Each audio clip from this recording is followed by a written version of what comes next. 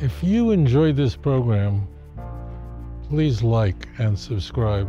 Both the Christian idolatry is using the word word, as in John's logos, John chapter 1, verse 1 through 18, and the pagan world is using the same kind of lingo.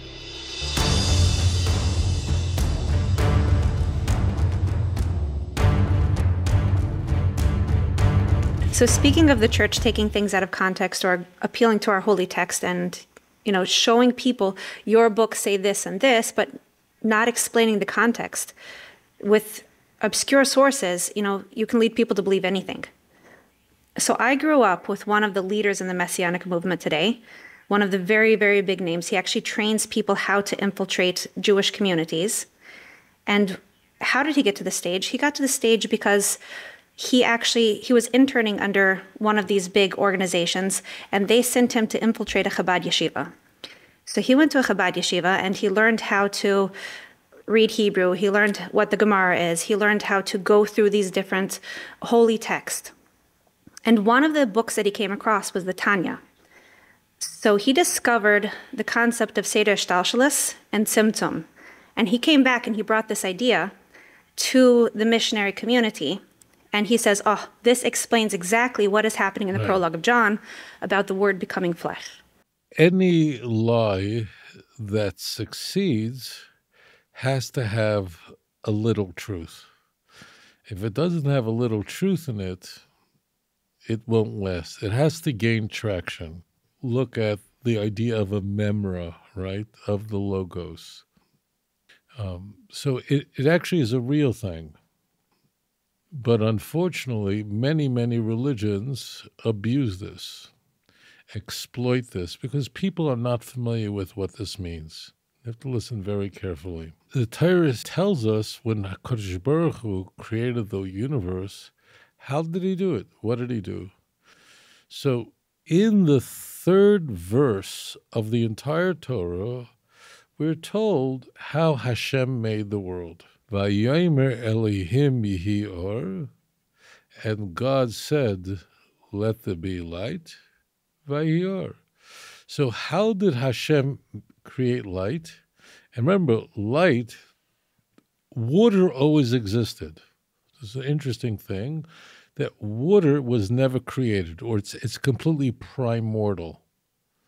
And in fact, scientists know today that water does not come from this universe, does not come from this planet at all. So in the verse, I'm just as a caveat, you see how the Torah is so accurate. Water was always there. At the end of verse 2, we see that the Spirit of Hashem hovered over the face of the waters. Now, whatever that means, waters are there. There's God's going to separate the waters but water was always there, and scientists now discover what the Torah always knew. So Hashem now is creating light, which is the first thing. Why is light important? Because without light, we know, based on a physicist uh, in the early 20th century, that without light, you don't have time. They're intimately connected. But how did he do it? Vayomer Elohim, and God said. So therefore, Hakadosh Baruch Hu uttered the word or, and from that Hebrew word emerged light, whatever light is. Okay? The sun, incidentally, is not going to be created until the fourth day. So light is created long before HaKadosh Baruch Hu created the sun. Okay, that's very important. That's how Hashem, so Hashem uttered the word, or, and light came from it. And that word is very common in Tanakh. In Aramaic, the word is memra, or it's called devar in Hebrew, like Jeremiah uttered a devar, a word of prophecy, famously in Jeremiah 29, verse 10, which corresponds to the famous Daniel chapter 9. That's what Tanya is talking about. Now, when Tanya is speaking about it, you don't need Tanya. Like, it's not like Tanya invented a new religion.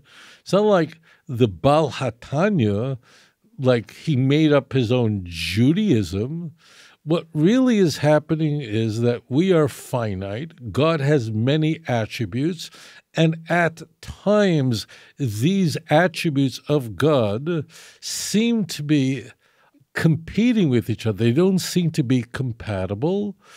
And in the Torah, we see that, in fact, God has all these features, and these facets of God are ways for us to understand the one true God. There is no oneness like God.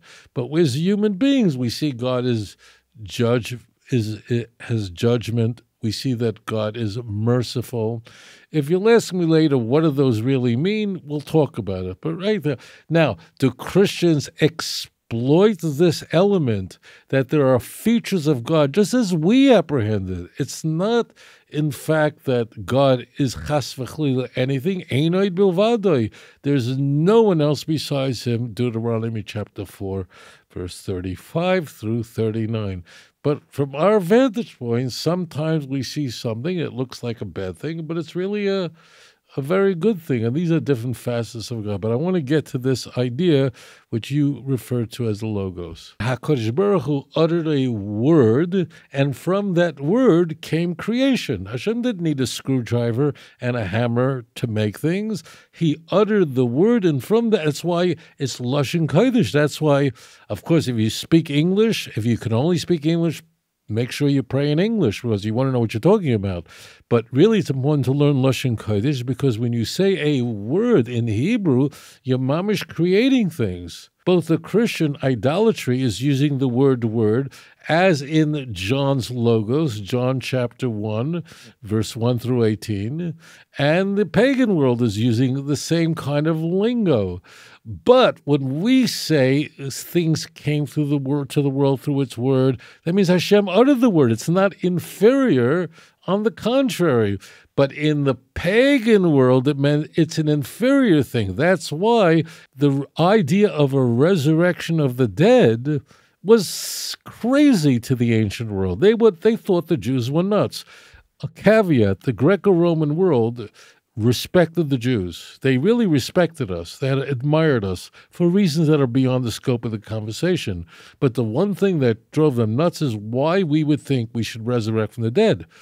We know that actually the body is a beautiful thing, is a holy thing. But what we're trying to do in just like if you take a piece of wood oak wood and you make a barrel from it and you pour oil into it fragrance into it perfume into it you pour wine into it, what happens to this oak barrel? It then absorbs the fragrance of the wine and the perfume. You understand? So the the the wood then takes on special property. In the same way, our body's like a dog, like a cat.